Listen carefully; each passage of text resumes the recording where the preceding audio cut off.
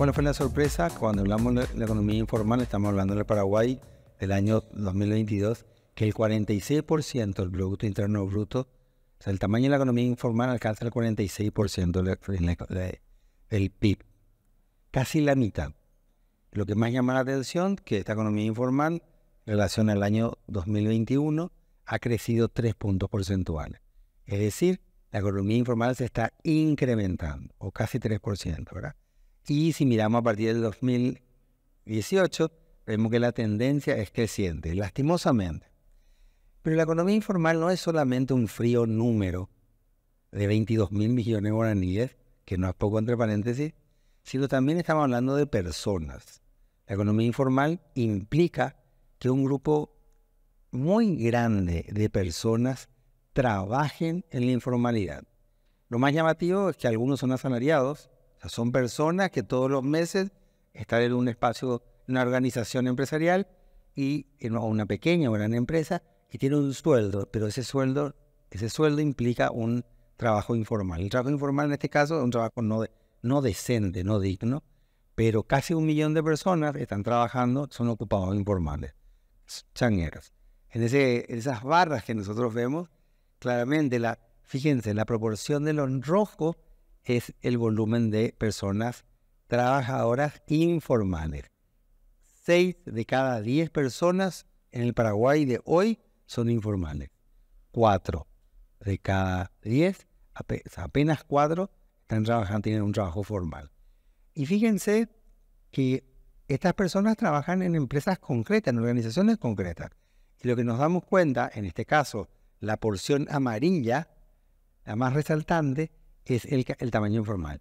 En organizaciones de, de 1 a 5 personas, en pequeñas empresas, casi 8 de cada 10 personas que trabajan son informales. Informalidad implica sueldos bajos, informalidad implica seguridad social inexistente, informalidad implica un trabajo y unas presiones que no son dignas y una variabilidad muy grande en los ingresos. Evidentemente, las empresas de más de 500 personas son las que tienen apenas 10% informales, casi 90% formales, ¿verdad? Pero las organizaciones más pequeñas, las que están naciendo, las que apenas se mantienen, sostienen, son las que tienen trabajadores informales. Lo más llamativo que en la economía del 2022, o sea, ahora, reciente, a la vuelta de la esquina, eh, casi 130 mil personas de la economía paraguaya decidieron dejar de ser personas activas económicamente a ser personas inactivas económicamente. O sea, dijeron, yo ya no voy a trabajar más. Yo me quedo en mi casa, o yo voy a hacer algún estudio, o yo voy a estar nomás. ¿Ah? Salen del mercado laboral, salen de la actividad. 130 mil personas. Es mucho realmente. ¿Por qué nos preocupa? Porque una persona que trabaja en el mercado informal es una persona que, que tiene un trabajo que no es seguro, que tiene un nivel de ingresos que lastimosamente es pequeño, que no solamente que podría o no estar en el nivel de pobreza, pero con certeza ante cualquier evento que ocurriera afuera, el COVID o cualquier evento que ocurriera afuera, por ejemplo, eh, cierre las exportaciones o cualquier evento que ocurriera en su familia, por ejemplo, un problema de salud, por ejemplo, eh, un despido o lo que fuera, deja de tener ese ingreso automáticamente y pasa a la pobreza total. Entonces son personas muy vulnerables. Tienen ingresos bajos, inestables. Y cuando hablamos de ingresos bajos, nosotros hablamos de que en Paraguay establecemos que la canasta básica de alimentos es 414 mil guaraníes por persona. Y hay mucha gente que no tiene para no tiene 400, 410 mil guaraníes para la canasta básica. ¿Cuántas son? Casi 2 millones de personas. Es decir, un tercio de la población, uno de cada tres. Acá estamos tres, uno de cada tres no tiene ese ingreso. Les cuento que a lo mejor soy yo, no ustedes. ¿Eh? Humildemente. y no solamente estas personas tienen un ingreso que no les permite adquirir acceder a la canasta básica, sino que con un proceso inflacionario como el que hemos tenido en los últimos años, ellos son los que más están pagando. ¿Por qué? Porque no tienen forma de protegerse de la inflación. Entonces también van perdiendo ingreso real.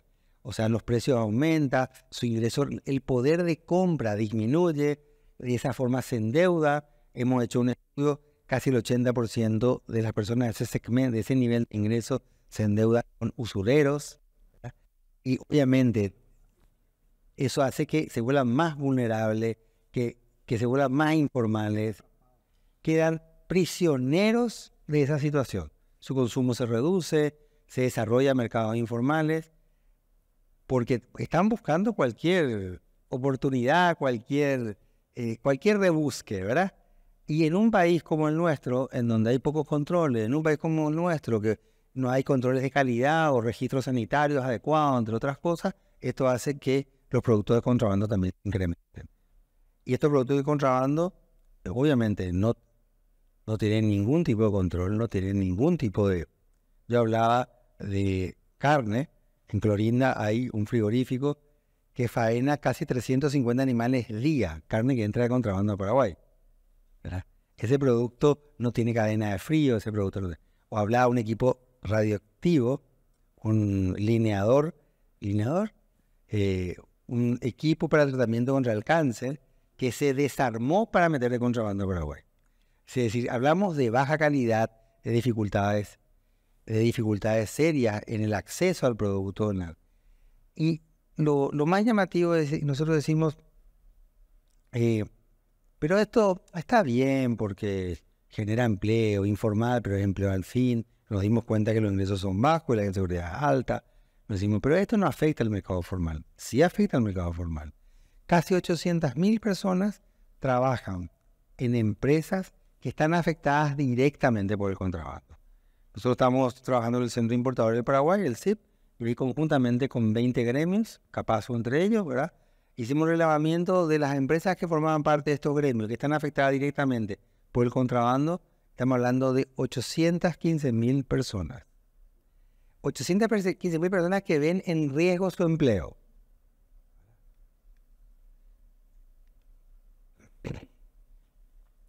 Y en estos sectores, la caída promedio en las ventas es del 40 al 45%. Uno dice, pero no será mucho. Estos bidoncitos de combustible que vemos en la calle, casi 100 millones de dólares mes en la venta de combustible de contrabando en el país.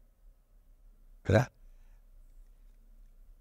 Eso significa que el volumen es importante, que las personas uno de cada cuatro personas que está en la población económicamente activa ocupada tiene riesgo de perder su trabajo, su empleo formal por culpa del contrabando. Empleo formal, que significa seguridad social, empleo formal, que, sí, que significa indemnización, empleo formal, que significa estabilidad, empleo formal, que significa capacidad de aprender y desarrollarse en una organización. Y lo que vemos que esto es un círculo vicioso, o sea, es decir, nosotros decimos, no, no se puede controlar el contrabando, tenemos decisiones débiles, pero estas decisiones débiles lo que hacen es fomentar de alguna u otra manera, generar incentivo a que existan actividades informales de subsistencia. Como no hay formalidad, no hay empleo formal, como no hay empleo formal, la gente se rebusca y trata de tener algo, una changa para, para poder subsistir y eso genera vulnerabilidad y eso hace que cualquier evento externo vuelva a la pobreza y eso me excluye el mercado formal y cada vez estoy más lejos.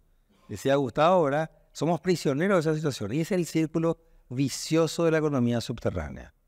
Si nosotros no cortamos un elemento, no fortalecemos las instituciones, o no, no vemos la forma de generar un sistema de protección social a la gente, ¿verdad? O facilitar la inclusión al mercado formal, no vamos a poder hacer frente a estas dificultades que normalmente tenemos en la economía. ¿Cuáles son las, las consecuencias del, contrabando? Obviamente, es una competencia desleal. Hay empresas que se preocupan en cumplir todas las normas, las legales y las normas que exigen un mercado competitivo desafiante eh, y están enfrentando a un grupo de empresas que operan a la luz de la noche, que operan con protección pública, policial, militar o lo que fuera, que tienen políticos, que tienen, que tienen un campo y que obviamente no, no respetan ningún tipo de norma, ni tributaria, ni de habilitación, ni de seguridad social. ¿Qué implica también? Y eso hace que definitivamente las empresas para decidir crear nuevo empleo piensen dos veces si vale la pena hacer. Entonces, no hay inversión, no hay empleo, no hay expansión, ¿verdad? Formal. Y eso crea muchas distorsiones en la, economía, ¿verdad? Entonces, no, no es solamente un dilema ético, es un dilema pragmático. O sea, si la gente dice, ¿para qué, ¿para qué soy formal? Si es que no siendo formal y estando a la oscuridad de la noche, como un fantasma, de todas maneras tiene un ingreso, ¿verdad? Y lo que hacemos es, lastimosamente, no tenemos ingresos fiscales, no se pagan impuestos. Al no tener impuestos tampoco tenemos la posibilidad de desarrollar gastos de infraestructura ni gastos sociales. Y las brechas sociales se incrementan. Entonces, esto es un caldo cultivo para tensiones sociales futuras que ojalá no ocurrieran, porque la pobreza incrementa, porque, porque la pobreza se incrementa, porque la gente se siente aislada y excluida y porque la gente tiene legítimo derecho de vivir dignamente y no ve las condiciones para hacerlo. Vemos que en 2023 probablemente tengamos un desempeño económico favorable, pero vemos también de que no, eh, no hay una, la teoría del derrame no se da. Así vamos a crecer bastante, no vamos a crecer. Pero lo que preocupa es que en Argentina las condiciones se mantienen. ¿Por qué hablo de Argentina? Porque es una de las puertas de entrada. La verdad que no sé si puerta o portón, ¿verdad? O sea, decir una puertita un poco grande de entrada del volumen de contrabando. Las condiciones argentinas no son, o sea, macroeconómicas son tales que hay un diferencial de precios cambiario importante. ¿verdad? Y ese diferencial de precio cambiario se, visualiza en un volumen importante de flujo de productos hacia Paraguay. Este es un, un programa social argentino en donde básicamente te permite dar una tarjeta y si vos compras productos nacionales en Argentina. En toda la Argentina. ¿verdad? Una tarjeta que tiene descuento, que tiene precios especiales. O sorpresa. Los lugares en donde la tasa de crecimiento de la facturación de ese programa es de dos dígitos. Cuando digo de dos dígitos, quiero compararlo porque en Buenos Aires está casi cero. En el Gran Buenos Aires es un número pequeño, pero en el Chaco, Argentina, que está acá a la vuelta, 30%, en Corrientes, que está acá a la vuelta, 10%. En Formosa, aquí cerquita, 20%. En Misiones, también un número positivo, creo que 3%. Y, oh, sorpresa, Salta, está un poco lejos Salta, es difícil llegar, pero tiene muy buenos vinos. Y al tener muy buenos vinos, en esa zona creció 16% este programa. La ciudad, las provincias donde ese programa tiene crecimiento de dos dígitos, o sorpresas son cerca de Paraguay. Es una forma de, medir el contrabando. Lo que hablamos es, las consecuencias son económicas, son de garantías, son de riesgo a la salud, son de una exposición enorme al, riesgo y a, riesgo sanitario, a riesgo de salud, entre otras cosas, es una inestabilidad laboral y obviamente un sistema que genera peligros de todo tipo. Creemos que es posible hacer cambios. Algo tiene que venir por el tema de que las instituciones públicas paraguayas que tienen competencias hagan cosas. Ustedes pueden, pueden fijarse que de repente hay semanas en donde hay decomiso y hay semanas en donde parece que eso es vía libre, ¿verdad? O sea, es decir, y la voluntad política es importante. La policía tiene, la policía, los militares, la marina tienen competencias para reprimir, pero también tiene competencias para eh, no ver, lastimosamente. No tiene competencias, tiene la posibilidad de hacerlo, ¿verdad? de alguna u otra manera, creemos que los controles, tipo el brasilero, cuando Brasil hace su control de contrabando, no entra nada ni va nada de contrabando a Brasil. O sea, los contrabandos efectivos, tipo los de Ágata, que la semana pasada se hicieron, son muy efectivos. Hay tecnología para hacer el seguimiento. Tecnología es, hemos visto, no sé si recuerdan, hace unos meses se filmaron en algunos lugares donde entraron, eh, entraban camiones de container enteros, camiones enteros de contrabando. No me estoy acordando si se hizo algo después sobre eso o pasó desapercibido pero hay tecnología y tecnología inteligente para seguirlo. Estamos hablando de logísticas realmente importantes y creemos que debemos adecuar la, legislación a los efectos de impulsar sanciones administrativas muy rápidas. ¿Por qué? Porque no hay, no hay personas detenidas por el tema de contrabando, lastimosamente, ¿verdad? Y acá tenemos que tener un, foco con las empresas pequeñas, porque allí yo tengo que buscar la formalización. No, no para que sean buenas, no para que paguen impuestos. Tengo que formalizar su tengo que impulsar su formalización con un objetivo de incluirle a, un sistema que le va a generar protección, que va a generar beneficios para ellos, para la economía toda, para nuestra cadena productiva, para de impuestos. Y creemos que es un proceso que tenemos que seguir, avanzar y desarrollar. Gracias.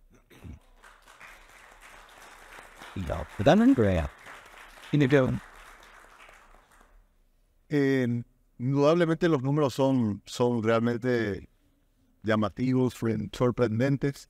Y uno se pregunta, con este, con este diagnóstico que nos acaba de dar Hugo, ¿cómo hace una empresa, eh, un supermercado, una tienda? Porque acá no hay que mirar que solamente el, el, empresario que tiene la góndola en el supermercado es el que se ve perjudicado, porque me imagino que hay una serie de empresas que están detrás, que son las proveedoras, de, que son otra vez pequeñas compañías que, que también se ven perjudicadas porque tienen que competir con esto.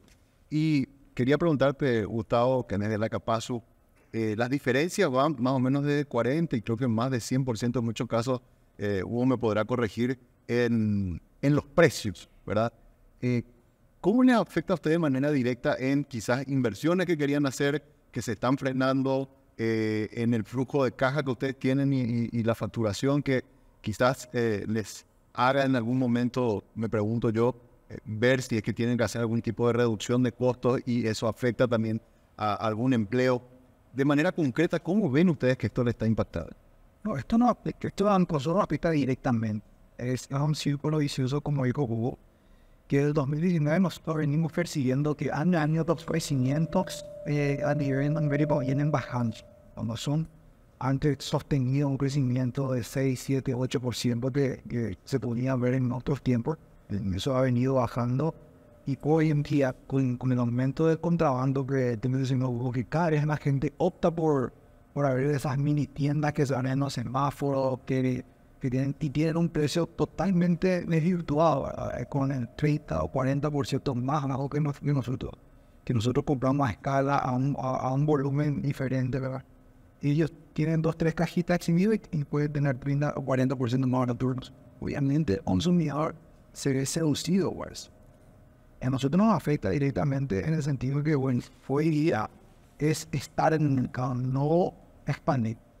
¿Por qué? Porque estamos mirando cómo va a venir este nuevo gobierno, qué, qué medidas va a implementar, qué acciones económicas va a aplicar para qué, para ver si esto va a generar mayor aceleramiento económico. Entonces ahí podemos invertir.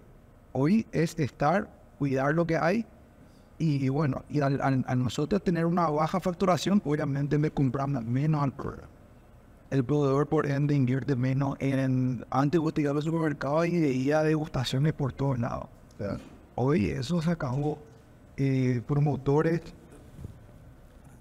Promotores que, que, que, están llenando las góndolas, que son empleados de las, de, de, de las empresas proveedoras que vienen a trabajar a nuestros supermercados, que vienen a exhibir, a cuidar los espacios en góndola, se ve reducido, la logística se ve reducida. Entonces es una cadena que empieza a reducirse. Mismo nosotros, de repente, por decirte, tener, eh, si tenemos un mayor flujo de gente, eh, uno quiere, nosotros somos, damos servicio a, los consumidores. Eh, tenemos que dar servicio rápido, ágil. A veces vos te vas en las cajas y ves 10, 12 cajas, pero tenés 5 cajas habilitadas.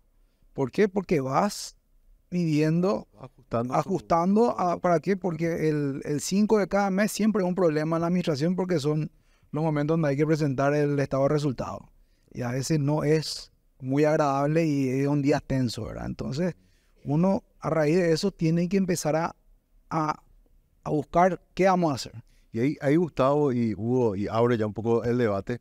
En lo que comentaste, por ejemplo, yo no, no sabía esto de que hay productos subsidiados, básicamente, entre comillas, digamos, en Argentina, y que responden un poco a estos diferenciales tan grandes, aparte del tipo de cambio, ¿verdad? Em, el ciudadano, y esto lo veíamos incluso en los comentarios que la gente hacía cuando promocionábamos esta charla, eh, siempre va a buscar de alguna forma su beneficio económico, ¿verdad? Lo que no somos muchas veces conscientes es del impacto que después de eso termina, esa botella de aceite termina significando en otras personas, ¿verdad? Igual que nosotros, incluso probablemente podría ser en gente de nuestra propia familia que está trabajando en ese supermercado, ¿verdad? Estamos atentando incluso hasta ese puesto de trabajo. ¿Cómo hacemos para conectar a la gente con, con estos números y, y- y hacer entender que, que realmente esto tiene un impacto fuerte e importante? Evo? de que tiene un impacto fuerte e importante, los números no, No muestra. ¿verdad? O sea, tú, estamos hablando de varias centenas de millones de dólares mensuales a los diferentes sectores. Que tiene un impacto fuerte, nos muestra la brecha entre el empleo formal y el empleo informal. Hay gente que tiene un empleo seguro, que tiene un sistema de protección, si le despiden puede cuestionar en, la- en las instancias correspondientes, si, si trabajan adecuadamente, la empresa también le da un buen salario, eh, va avanzando, evaluaciones de desempeño, capacitación. También yo puedo tener la certeza que consumo un producto con, que en donde lo que dice la etiqueta es. La otra vez mi hijo estaba viendo un medicamento, no sé si vieron, eh, se promocionaba un colágeno, una cuestión de esa, para el, para el post chikungunya, un producto brasilero, y mi hijo entró a la dirección que dice en la etiqueta, una bicicletería en Brasil. ¿Verdad? Entonces, uno con un producto formal tiene la certeza de que lo que te entregan es. Porque, y si no, si no te entregan lo que promete, hay instancias correspondientes donde uno puede cuestionar y alegar. Y, pero lo, que creo que tenemos que tomar conciencia es que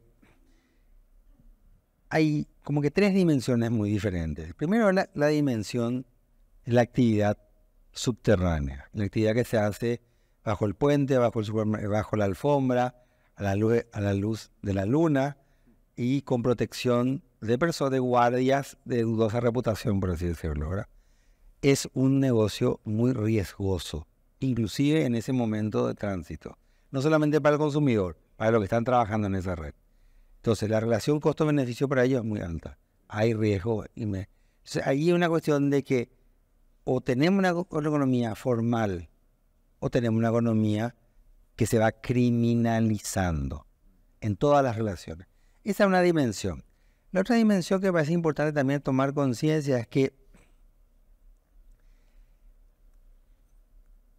que hay una dimensión económica involucrada en hacer bien las cosas. sea, Es decir, uno dice, pero ¿por qué el producto es más caro? Hay un margen excesivo y probablemente existe un margen de diferencia entre un producto de contrabando que no tiene ninguna, ningún cuidado y un producto formal que, que tiene muchos cuidados. Y yo la figura que me viene es la figura de la casa de uno, ¿verdad? O sea, decir, es muy fácil vivir en la casa de uno y no barrer, no repasar, no poner desodorante. Y uno puede vivir una, un día, una semana, ¿verdad? Pero a la una semana, vivir en esas condiciones es absolutamente asqueroso, ¿verdad? O sea, hay suciedad por todos lados, hay polvo, hay riesgo de salud, es incómodo. Entonces, y uno dice, no, vamos a vivir una- en una casa limpia. Y vivir en una casa limpia implica que compre la escoba, que compre el palo de repasar, que compre el detergente, que compre el desodorante para piso, que, que, que, que invierta en una serie de gastos. ¿Para qué? Para que la casa esté limpia. Esté limpia, perdón. ¿Se dan cuenta cómo hacer las tareas de la casa? Pero no es solo la inversión y el beneficio de estar en una casa limpia versus estar en una casa sucia. El beneficio va más allá de la casa limpia. Va en la satisfacción personal del disfrute de una estética diferente, del disfrute de un espacio que me permite desarrollarme adecuadamente, que puedo caminar descalzo, que puedo tirarme en el piso, que puedo jugar con mi hijo en el piso. que Entonces, tenemos que comprender que una economía negra, una economía donde el crimen organizado manda, una economía en donde los productos de contrabando funcionan con una lógica perversa, es muy diferente a una economía, una sociedad que funciona con ciertas reglas de juego en la cual todos nos beneficiamos. Y no es solamente lo bueno y lo malo, es el estilo de vida que quiero tener. Entonces, el beneficio es una casa limpia, un hogar limpio, no es casa, uno se convierte en hogar, o un chiquero en donde no podemos vivir. Sí. Se entiende perfectamente. Y ahí quería consultar y eh, en base a algunos números que, que- lo acabamos de publicar justamente en los medios y lo comentábamos en, en Radio Monumental la semana pasada. eh, nos decía la CAPRO, que es la, la cámara que procesa el grano de soja, que ellos vienen cada año disminuyendo eh, lo que le dicen la molienda, que es el, convertir esa soja en aceite. Y hay 8.000 personas que, que, están trabajando de manera directa en esa industria, ¿verdad? Son 8.000 familias que están ahí. Y nos comentaba la gente de Capro de que solamente de enero hasta abril de este año, más de 4.000 toneladas de aceite ingresó de forma de contrabando a nuestro país, según los estudios que ellos estaban manejando, y que el año pasado tuvieron más o menos en sus cálculos 168 millones de dólares movió el aceite de contrabando. Entonces, imagínense ustedes, por ejemplo, la construcción del viaducto que tenemos acá en Madrid costó 25 millones de dólares. O sea, ¿cuántos viaductos de eso podríamos haber construido con, con esa plata que dejó de ingresar al fisco, verdad? Es muchísimo. Eh, también en una conversación que teníamos con gente de la Cámara eh, de Anunciantes, tras una reunión, y eso te voy a preguntar en un ratito, Gustavo, eh, nos decían que ellos se juntaron 18, 18 gremios, digamos, del sector privado para hablar con el Ministerio del Interior y la policía, decir, bueno, ¿qué podemos hacer con esto, verdad? Y sacaban un número que a mí me asustó, ¿verdad? Pero que coincide mucho con el estudio que hiciste, de más de mil millones de dólares por mes que se estima se mueve eh, en, la economía en negro, digamos, o en el contrabando. Y ustedes saben que por año Paraguay en inversión en infraestructura intenta alcanzar mil millones de dólares, ¿verdad? Eh, en inversión en un año. O sea, todo lo que se construye en ruta, en puentes, está cerca de mil millones de dólares en un año, que es la inversión que hacemos. Y eso solamente en un mes se está moviendo en esta economía subterránea. Entonces, ahí yo te pregunto eh, directamente, Gustavo, ¿Notan ustedes esto que algunos de tus colegas están diciendo lo del brazo caído, ¿verdad? O lo de la vista gorda, como decía Gustavo, ¿verdad? De que efectivamente hay como un relajamiento en los últimos tiempos y por eso vemos en cada semáforo y de manera ya demasiado abierta eh, este fenómeno. No, totalmente. Eso es así. Eso se ve en la calle y se siente. Eh, vemos, es como que también el gobierno, como que se, el gobierno actual se desligó del problema y bueno, deja libre albedrío a la gente que ya que ellos no están pudiendo aplicar ahora políticas económicas, entonces deja que el contrabando sea la manera de vivir hoy en el, en el, Paraguay. ¿Para qué? Para que no haya eh, revuelo o, la gente tenga su, su dinerito ahí fluctuando.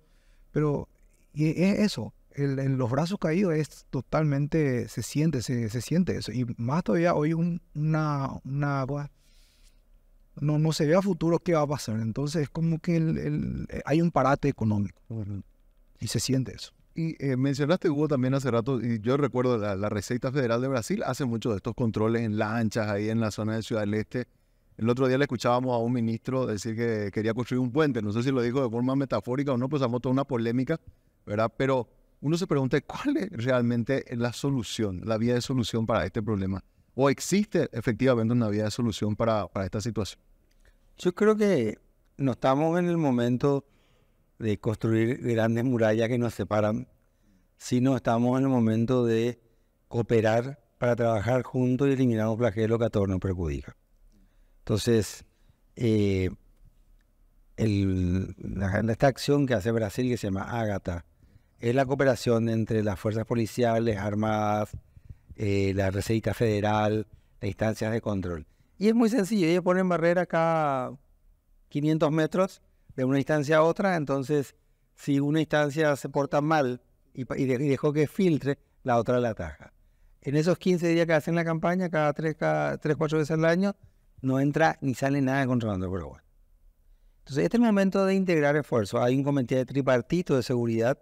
Paraguay bien podría trabajar con Argentina y Brasil, porque el contrabando que que entra a Paraguay o el contrabando que entra a Brasil también nos perjudica a todos. Y todo es contrabando. El contrabando que entra a Paraguay, el contrabando que entra a Argentina, perjudica a Argentina también, ¿verdad? Entonces hay un comité tripartito de seguridad que, debería retomarse, que debería insistirse. Eh, Paraguay tiene un gran agujero negro en, en, los sistemas de radares que debería solucionar. O sea, eso es relativamente sencillo, de voluntad política, asignar recursos, pero es que alguien esté controlando. Hay tecnología, hay sistema de inteligencia, el sector privado, estos gremios lo que comentaste, hemos acercado mucha información porque pasar 100 millones de dólares en combustible, pasar 40 millones de dólares en alimentos, eh, 40% de la bebida, de la bebida alcohólica que se consume hoy de contrabando, eso requiere una logística muy grande. Eso se sabe, eso se da. Hay pocas puertas de entrada del contrabando en Paraguay, hay como cinco lugares nomás. Ese video mostró uno de ellos, ¿verdad? Entonces, eh, usar la tecnología que genere toma de decisiones de políticas públicas basadas en evidencia. Y evidencia en nuestro país sobre el contrabando sobra. Sobra totalmente. Ustedes sabían que cuando ocurre la pandemia y en abril del 2020 se cierra todo y entramos en esta, en, en ese encierro, digamos, eh, me contaban la gente que son productores de aceite, ellos se asustaron porque por primera vez comenzaron a dimensionar lo que era el mercado paraguayo y la demanda que había en el mercado paraguayo y no daban abasto porque la producción local no podía abastecer eh, a toda la demanda que era alimentar a nuestro, a nuestro país, digamos, con, con aceite comestible.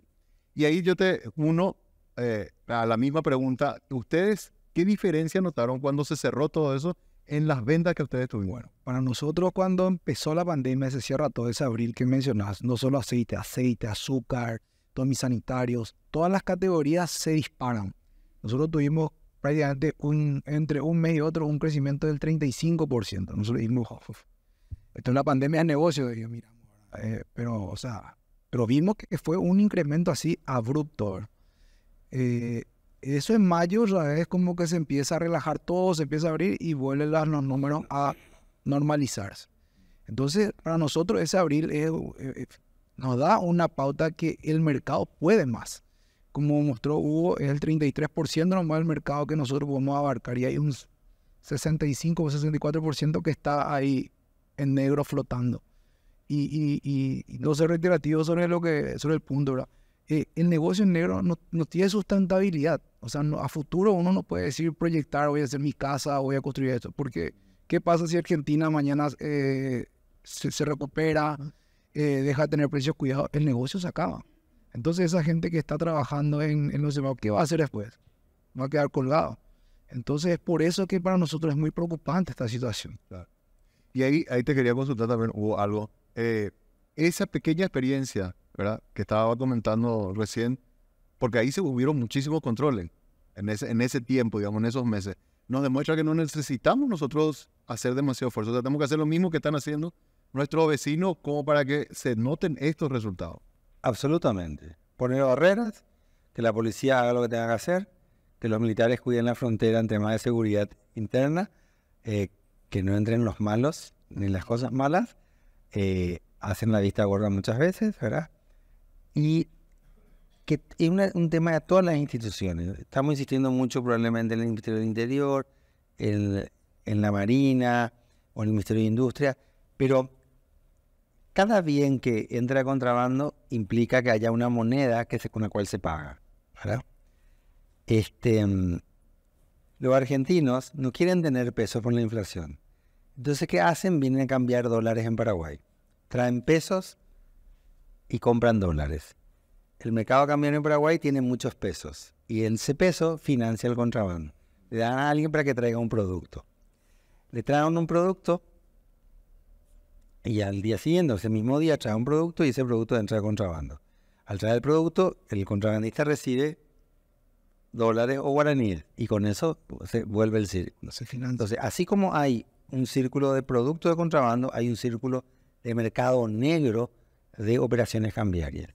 Anteriormente existían poco más de 100, 130 creo, operadores cambiarios, estos son los que están en la calle. Hoy existen más de 1.200 registrados en el Banco Central. Y el Banco Central ni CEPRELAT tiene un control efectivo sobre qué hacen con ese dinero y cómo están operando. ¿Por qué? Porque dice yo lo tengo que registrar lo tengo que supervisar. O sea, el Banco Central o CEPRELAT supervisa instancias formales financieras, pero no a los cambistas que hoy se crecieron en, en 10 veces. Entonces, las instituciones públicas tienen que hacer lo que dice su carta orgánica que tienen que hacer cuidar el mercado financiero, cuidar el lavado de dinero, cuidar la seguridad de que nadie transite un producto, INAVISA tiene que controlar que no haya medicamentos que no se produzcan aquí, que están habilitados se comercialicen, el INAM los productos alimenticios, es decir, Nosotros tenemos un desarrollo institucional que tiene competencias. Usémosla. Totalmente. Ahí quiero unir más eh, eh, para hacer un pequeño comentario, porque también sigo mucho el, el mercado financiero. Usted sabe que creo que era las casas de cambio están registradas como unas 33 más o menos, ¿verdad? Si mal no recuerdo. Un poquito más, ¿verdad? Un poquito más, 37 o algo así está. Que son las registradas eh, por el Banco Central. Pero eh, el propio Banco Central lo publicaba hace poco, hizo un pequeño estudio y más o menos detectaron 600 casas de cambio que están operando, sobre todo en las zonas de frontera. O sea, se imaginan la estructura financiera y la cantidad de dinero que se está moviendo en negro también desde el punto de vista financiero, que es uno de los brazos del contrabando, ¿verdad? Y, lo que puede ser eso en lavado de dinero y un montón de otras cosas, ¿verdad? Así que realmente eh, es un impacto, creo que es un impacto muy fuerte que a veces no dimensionamos. Eh, quería dejar también esta última parte, eh, Hugo y Gustavo, si me permiten, si hay alguien también en el público que quiera hacer una pregunta, una consulta para, para nuestros expositores, le podemos escuchar y entonces podemos aprovechar también la, la visita de ellos. A ver.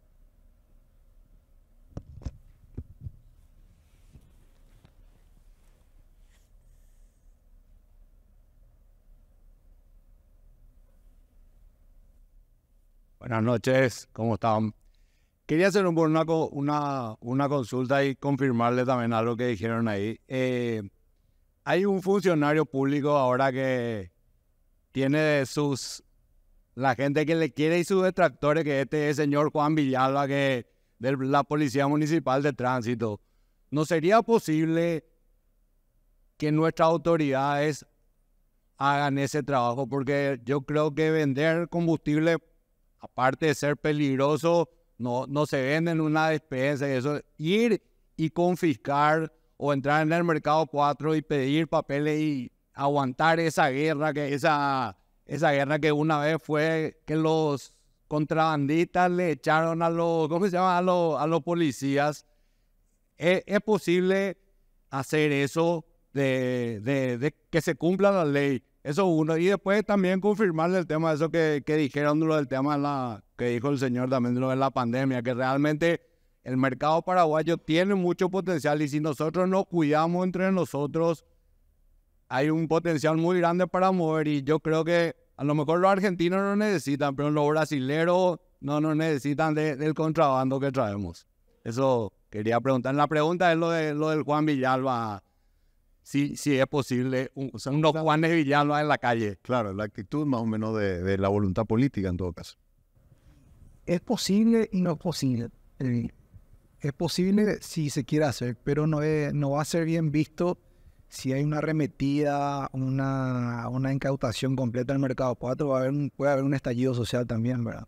Porque hay mucha gente que vive de esto. Entonces también políticamente no es bueno para algunas futuras elecciones, pues son votos también de esa gente.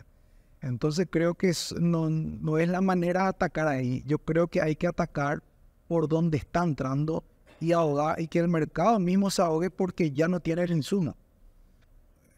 Eh, no sé si me explico, ¿verdad? Eh, eso es mi visión, ¿verdad? Yo creo que si se ponen los controles, si no ingresa la mercadería en negro, esta gente va a tener que, de, a poco va a tener que ir formalizándose. O sea, eh, la formalización tiene de sus cosas positivas. Eh, uno cuando empieza a tener más IVA, el mercado financiero te mira con buenos ojos, te puede dar más crédito, uno puede crecer su, negocio, puede invertir, reinvertir y así se Después el mercado negro es como dijo Hugo, tenéis que recurrir únicamente al usurero.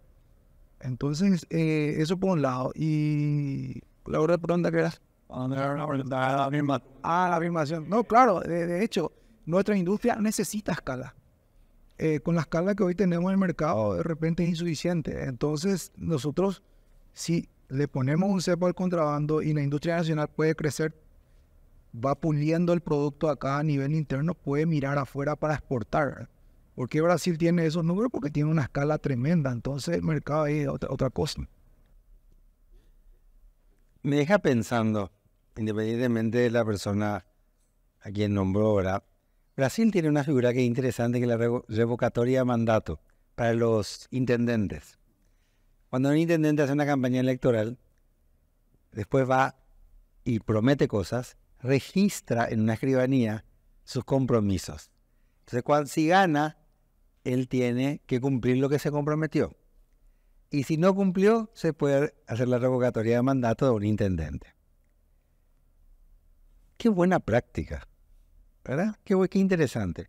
Cuando uno es ministro, cuando uno es una autoridad que tiene una competencia determinada, debería tener ciertos compromisos técnicos, o sea, de logro. Yo soy ministro de salud, tengo que conseguir resultados en términos de salud. Si soy ministro de educación, resultados en términos de educación. Si soy ministro del interior, resultados en términos de entonces, yo allí lo que tengo, o sea, lo que tenemos que hacer nosotros, los ciudadanos paraguayos, es empezar a discutir en qué medida una autoridad está logrando mejorar las cosas gracias a su gestión. Y exigirle eso. Ahora, la pregunta que nosotros, porque la excusa que muchas se se plantea es, yo no tengo competencia para sacarle el producto de contrabando. Entonces, la norma tiene que ir modificándose para darle explícitamente la competencia y no desprotegerle al funcionario. Porque muchas veces el funcionario público está desprotegido porque si hace algo que no está explícitamente dicho, los malos se encargan de castigarle a, ese funcionario público. Entonces, este es, un, este es una dinámica en la cual los funcionarios tienen que cumplir a rajatabla lo que es la competencia si yo soy de la Marina, yo tengo que cuidar que no entren productos cruzando el río. Si yo soy de Dinavisa, si yo soy de DIRAM, si yo soy del IPS, tengo que cumplir que las empresas sean formales. Y debo tener esa actitud apasionada de que la gente cumpla las normas. Si me faltan normas, tengo que propiciar el cambio de normas para que enriquezca mi competencia. Mi respuesta es, sí se debe ser un funcionario apasionado que mejore los indicadores en la institución en la cual estoy. ¿Alguna otra consulta? Ya. Sí, buenas noches. Eh, somos tan conscientes de la realidad, ¿verdad? Sabemos perfectamente cómo nos penetra la economía subterránea, el contrabando. Entonces, yo pregunto, desde el sector privado, desde la industria, desde la Capazu, ¿no hay algún mecanismo de unión de ese gremio que pueda pensar de acá a mediano o largo plazo, que pueda beneficiar a la población y ponerse, no digo que se pueda poner de igual a igual con el contrabando, pero que le pueda, eh, que pueda tener alguna alternativa para la población. Es decir, que yo no me tenga que ir hasta Clorinda para comprar, eh, que no haya tanta diferencia. O sea, eh, yo entiendo que marcar un precio, el precio de un producto, tiene el impuesto, el costo. Entonces, ¿no hay alguna manera de tener un, un beneficio para el importador pensando en la población? Y que pueda, que ese precio de contrabando no sea igual, pero por lo menos esté cerquita eh, del precio de nuestra propia industria, que no me tenga que hacer ir hasta Clorinda todos los meses, ¿verdad? O sea, no hay un mecanismo que el gremio no se una, que hablen con el gobierno, alguna alternativa para la población para que no ese irte hasta Clorinda todos los fines de, de, de mes o cuando cobras recién es tedioso. Entonces, si hay muy poca diferencia, entonces me quedo nomás, ¿verdad? Entonces, ¿será que eso vamos a tener de acá a poco? A ver, eh, es un poco complejo y, coste, te, te, aseguro que nosotros, tanto los que estamos en Capazo, todos los proveedores, a diario conversamos estrategias comerciales que podamos hacer, alguna compra de volumen, un descuento y eso tratar de trasladarle el tema es que es muy difícil llegarle al precio de contrabando porque, primero, por la diferencia con enviar al dólar blue y el dólar oficial. Segundo, que Argentina tiene precios cuidados sobre ciertos productos que, y, como vos lo mencionaste, que el gobierno toque a nosotros y nos diga vamos a tener precios cuidados, estamos entrando en un, en un problema otra futuro. ¿Por qué? Porque estamos hablando de subsidiar ese precio del gobierno con las empresas. Y ahí es una medida muy populista, ¿verdad? Por el estilo de gobierno que tiene la Argentina. Entonces, para nosotros es muy difícil llegarle al, al precio del contrabando. Eh, pero como dijiste, nosotros aparte del servicio, ofrecemos prestaciones, estacionamiento, seguridad, confort, eh, la experiencia de compra, eh, una buena musicalización y La confianza. esa. Entonces son prestaciones que el consumidor deja de lado y prefiere ir a formar tres, tres horas de fila para cruzar al otro lado, irse a, otro país, dejar la plata ya. No sé cuánto puede ser la ganancia que, que, puede, capaz y es mucho, es poco, no sé, pero cada consumidor pone el nivel, por eso le llama el estándar que quiere, que como quiere comprar, pero que no te quede la duda que nosotros desde la Capazo con los proveedores estamos haciendo porque porque cada día somos menos atractivos por esa diferencia de precio. Entonces, tenemos que ser atractivos de cierta manera para no perder más mercado. Yo creo que el, el punto que planteas es un punto sumamente interesante y que es posible, ya voy a ir a un extremo, si yo te vendo un auto, un auto robado, me costó cero. Si me pagas un guaranilla, es ganancia para mí, ¿verdad?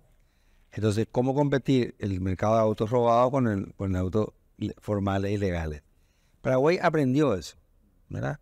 En algún momento dado nosotros teníamos los famosos autos MAU. Y en ese momento teníamos la misma discusión de ahora. ¿Cuántas personas se van a quedar desempleadas? Si no se el combate, era todo un problema. Hasta que finalmente dijimos, es importante legalizar, y vamos a dar un tiempo, para las tarjetas verde y marrón, marrón y verde. La cédula marrón, no tarjeta, cédula marrón y la cédula verde. Y gracias a una, ma- un mayor, exigencia, un mayor control, logramos disminuir a una mínima expresión el robo de los autos y las, cédulas marrones. Hoy discutimos los autos de Iquique, entre el mercado formal y el mercado informal de los autos de Iquique, que tienen buen precio, pero tienen algunos riesgos por el cambio volante, tienen algunos temas ambientales, son autos que ya en otros países no se usan y aquí están en desuso y acá se usan, o sea, tiene una serie de cuestionamientos y tenemos la misma discusión. Eh, ¿son, ¿Queremos autos formales o queremos autos de Iquique, de segunda mano? Yo creo que como sociedad tenemos que darnos cuenta que el tener la casa limpia nos permite pasar de casa a hogar. Tener una economía formal nos permite pasar de, de lo oscuro a la transparencia. Y que va a tener un costo a lo mejor un poco más elevado al principio, probablemente sí. Pero que la competencia va a hacer que disminuya. O sea, fíjense, hoy tenemos, la, ya que di el ejemplo de los autos, una amplia gama de vehículos, desde los valores más bajos hasta los autos premium son más caros. Pero tenemos, el mercado va buscando alternativas formales para hacer frente. Yo creo que va a pasar lo mismo, que probablemente si nosotros tenemos mayores exigencias para la formalización, para que las instituciones eh, sean las instituciones que cumplan sus roles, probablemente los precios van a ir bajando. Creo que porque la competencia va a hacer que baje. Una pregunta más, si hay alguien.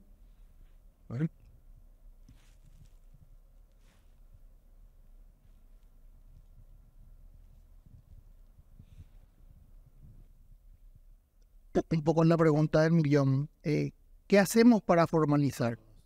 Ustedes hablan de controles, habla, eh, habló de un Juan Villalba, habló de una suerte de, de sobrecontrol, pero, pero yo más analizo de la perspectiva de la publicidad, porque si lo que hace este señor lo hiciera en silencio y sin tuitearlo, no nos vamos a enterar y probablemente la mitad de esas multas no se van a pagar.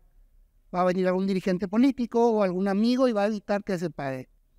No podríamos llevar esa publicidad al extremo. Hablo del ridículo.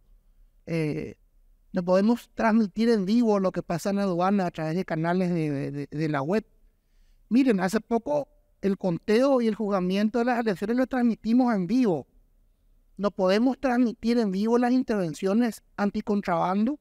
No podemos tener en vivo las cámaras que están, que están eh, en zonas primarias de, aduanas. Y mi hijo está estudiando economía, eh, vino para verlo al profesor Roy. Primer año, primer año, se está, se está fogueando, pero él tiene el dilema, ¿qué hacemos para formalizar la economía? ¿Qué hacemos? Porque este es uno de los pocos países en donde ser informal es más sencillo que ser formal. Decía un profesor mío de finanzas públicas, decía, que en la mayor parte del mundo no pagar impuestos es tan complicado que por aragante vas a ir pagar los impuestos. En este país, pagar los impuestos es tan complicado que yo soy abogado, estudié Derecho Tributario, Finanzas Públicas, tuve muy buenas notas. A mí me jode la, las resoluciones de la SED. No me imagino lo que es un emprendedor que está intentando formalizar su negocio. Para mí es chino medio complicado lo que dice la SED y yo soy abogado.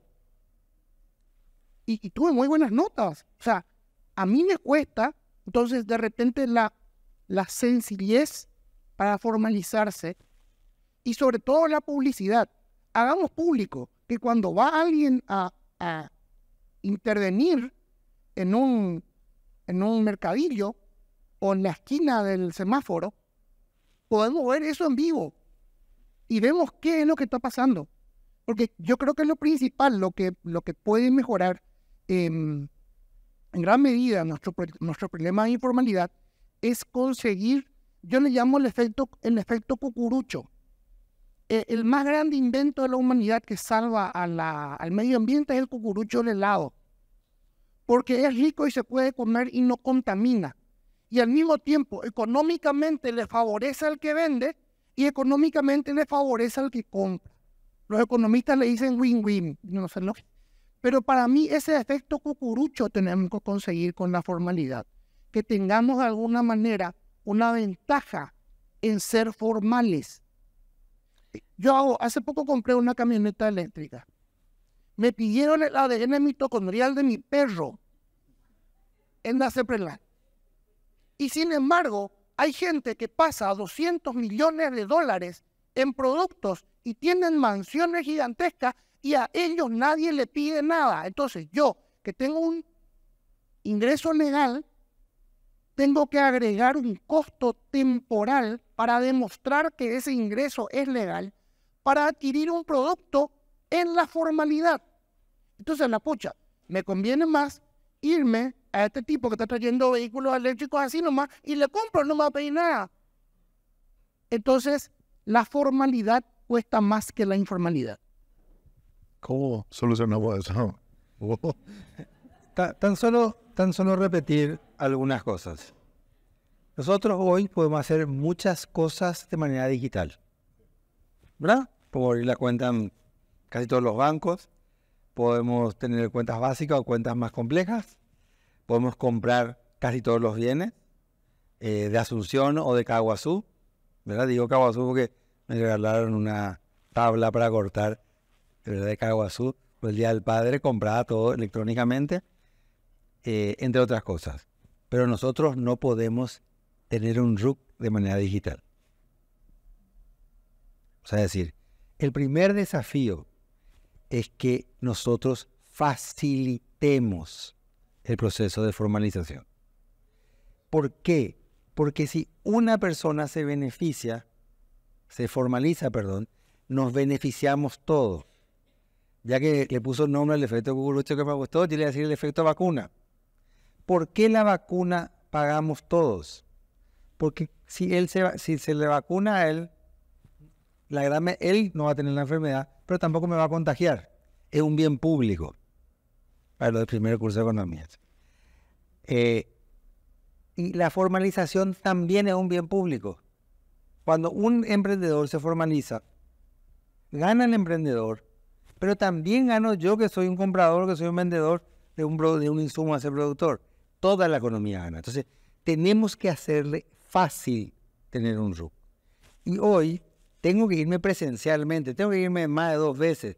No sé ni dónde preguntar. Pregunto, fíjense, yo vendo chipa.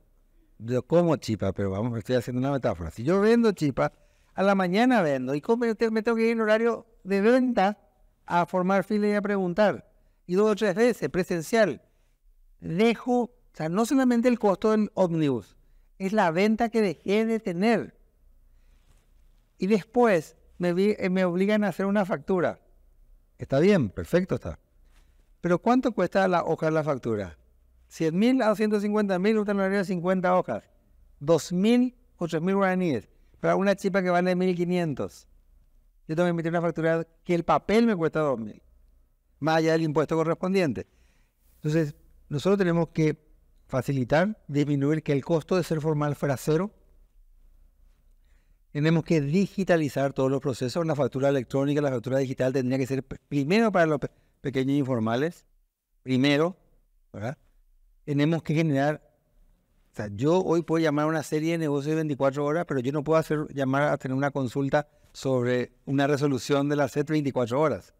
Entonces, tengo que tener lugares en donde la, información sea específica. Y lo último, tengo que tener instrumentos. No, es lo mismo a un supermercado, la, exigencia de un supermercado que la exigencia a un pequeño, a un pequeño negocio. Y yo quiero decir, como, último, ¿es posible hacer esto? Claro que es posible. Y de hecho, el sector público paraguayo lo logró cuando lo quiso hacer. Yo hace 25 años estuve, fui a residir un tiempo a Irlanda. Mi visa la visa de residencia gestioné todo por correo, por correo normal. El pasaporte iba, venía, la plata iba, venía. Nunca salía de mi casa para tener la visa de residencia. El beneficio fue que cuando tuve servicio de salud, no solamente consulté, sino después me enviaron los anteojos que consulté, que me correspondía a Paraguay. O sea, el, el entregable público también hay que hacer. Tenemos que acostumbrarnos a desarrollar otra forma de relacionamiento ciudadano con el sector público. Una última cosa nada más para cerrar, porque me parece que es un tema que hay que mencionarlo. Había una estadística que no creo que esté muy lejos, pero eh, le voy a preguntar a Gustavo. Em, en un año, más o menos se reportaron, esto es en el sector judicial, que me parece como un brazo que hay que tocarlo. Se reportaron más o menos 600 denuncias de, de casos de contrabando. Se abrieron 18 investigaciones. Al final del año, no hubo una sola persona imputada y mucho menos una persona condenada. O sea, tanta es la impunidad que uno ahí se pregunta, Gustavo, ¿cómo combatir con algo que la gente sabe que se mete a ese negocio y que no va a pasar nada, ¿verdad? Eh, o sea, ahí nomás también poner también sobre la mesa eh, esa situación me parece que, que es algo que desde el sector privado me imagino que a ustedes también les preocupa el hecho de que incluso aquella gente con la que están compitiendo, por más de que se le haya denunciado, tampoco hay una acción desde la justicia. Y eso es lo que ves pasada en una reunión que tuvimos en el CIP justamente. Estamos impulsando una ley, una ley anticontrabando para que tenga eh, penalidades administrativas para los negocios. No sé. Primero, una advertencia. Segundo, dos días de cierre. Después la clausura definitiva, ¿verdad? Porque hoy ir a la fiscalía lleva un proceso y se chicanea, se presenta un amparo, que esto, que aquello. Y hay mil factores de cómo dilatar el proceso y mientras tanto, mientras está en juicio, la empresa sigue operando. Entonces, es por eso que nosotros decimos que no hay ninguna sentencia firme sobre alguien que hizo contrabando. Porque no es propiamente el, que él metió la mercadería y se, busca la, la, vuelta. Entonces, es por eso que nosotros necesitamos una ley clara donde diga, si voy a encontrar una mercadería que no tenga eh, trazabilidad desde el momento que se importó hasta el momento que llegó a la góndola, eso es contrabando tiene que ser así firme y no tenga que buscar artimañas para poder eh, zafar de esa situación. Porque hoy los perros te inventan facturas, te inventan de todo para eh, blanquear eso. Entonces hoy yo creo que con una ley firme, donde sea claro, ni tenga la trazabilidad, porque todos los productos tienen un código de barra, tienen un lote. Entonces se puede saber en el momento que ingresan a aduana, el lote, el código de barra, que, es para la región o, para Paraguay. Bueno, eh, quiero agradecerle a todos por su, por su presencia, agradecerles también a nuestros panelistas que hoy no solamente nos dieron un diagnóstico, sino también eh, nos dieron la posibilidad de poder eh, tener algunas ideas alternativas que quizás ojalá lo agarre el próximo gobierno. y también el aporte que, que, dieron ustedes ha sido bastante importante porque es desde el sentir del ciudadano y, me parece que eso es, eh, es muy interesante y aporta mucho. Así que muchas gracias a todos por su presencia y quiero pedir un aplauso también para nuestros panelistas.